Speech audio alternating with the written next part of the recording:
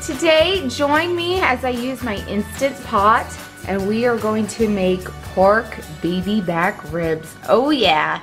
So I have one slab of pork baby back ribs.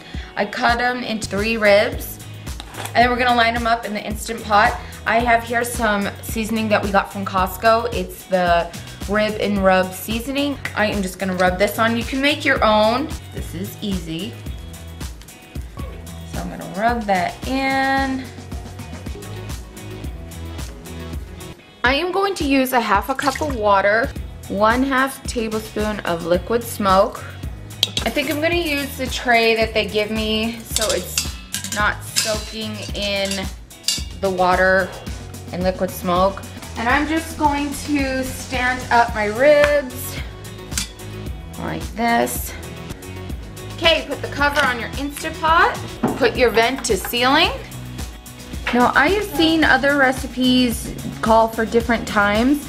So I'm just gonna do manual, high pressure.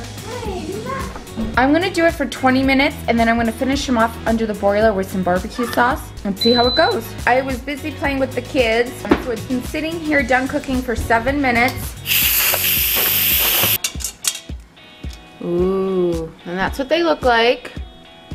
So now what I'm gonna do is put them on my baking sheet lined with aluminum foil, some barbecue sauce to them, and then broil them so they can get like all caramelized and yummy. And I'm gonna add some of the sweet Baby Ray's barbecue sauce. I'm going to rub the barbecue sauce on the back side of the rib and put it under the broiler and finish it off with the pretty side of the rib. Okay, I'm gonna put these under the broiler and just until they get the caramelized, so I'm really gonna keep an eye on them and then I'll flip them and do the other side. Ooh, look at these, look how good they look. Okay, now we have to taste them to see how well it did. Oh my goodness, you guys. So good, so tender. I can't believe that I did that for 20 minutes in a pressure cooker.